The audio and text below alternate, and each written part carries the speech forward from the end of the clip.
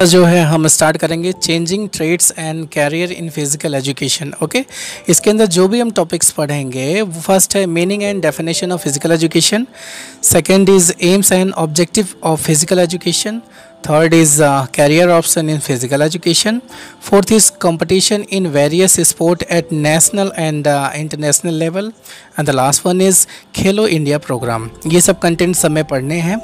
First topic पे चलते हैं मीनिंग ऑफ़ फ़िज़िकल एजुकेशन वैसे तो फ़िज़िकल एजुकेशन को डिफ़ाइन करना बड़ा मुश्किल है कॉम्प्लिकेटेड है, क्योंकि ये बहुत बड़ा क्राइटेरिया लिए हुए हैं।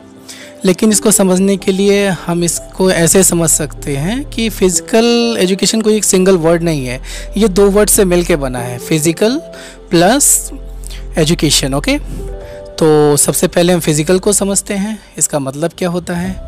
फ़िज़िकल का मतलब केवल बॉडी फिजिक ही नहीं होता, केवल मसल्स ही नहीं होता, और भी बहुत से सारी चीज़ें होती हैं। जैसे मुझे डिफ़ाइन करना होगा तो मैं इसे दो भाग में डिवाइड कर दूँगा। पहला बॉडली फ़ंक्शन बॉडी के अंदर होने वाले सभी फ़ंक्शंस के बारे में बात करेंगे, जैसे कि रिस्परेशन डाइजेशन एस्क्रेशन और भी बाकी सारी चीज़ें हैं। And the second is bodily effectiveness okay इसके अंदर हम देखते हैं कि बॉडी कितना इफ़ेक्टिव होता है, कैसे काम कर पाती है, किसी भी एक्शन को कैसे कर पाती है। और यहाँ पर हम बात करेंगे अपनी मसल्स के बारे में ओके okay? और मसल्स के बारे में ही बात नहीं होगी। इसमें और भी बहुत सी चीज़ें होती हैं। हम आगे चलते हैं एजुकेशन की तरफ़। Education systematic instruction and training है, जो हम सीखते हैं और जो हम फॉलो करते हैं।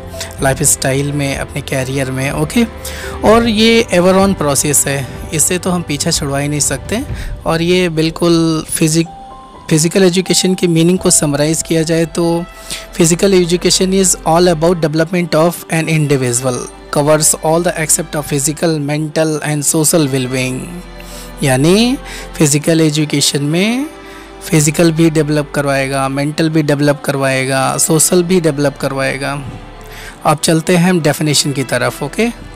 Definition of physical education J P Nash ने बोला था physical education is that phase of whole field on education that deal with big muscles activities and their related responses मतलब वो कहना चाह रहे थे कि जितनी भी मसल्स की एक्टिविटी करोगे और उसकी वजह से जैसे भी रिस्पॉन्सेज आएँगे, जैसे कि पॉजिटिव रिस्पॉन्सेज मसल का बढ़ना कार्डियोवैस्कुलर का इम्प्रूव होना माइटोकॉन्ड्रियल का डेंसिटी बढ़ना नेगेटिव जैसे पेन होता है मसल इरिटेशंस होते हैं, उन सब का ज्ञान मिलेगा फ़िज़िकल एजुकेशन में ओके और एक डेफिनेशन था कैसिडी ने बोला था physical education is the sum of changes in the individual caused by experiences centering motor activity okay next video में हम एम्स एंड ऑब्जेक्ट्स को पढ़ेंगे और फ़िज़िकल एजुकेशन का ओके थैंक यू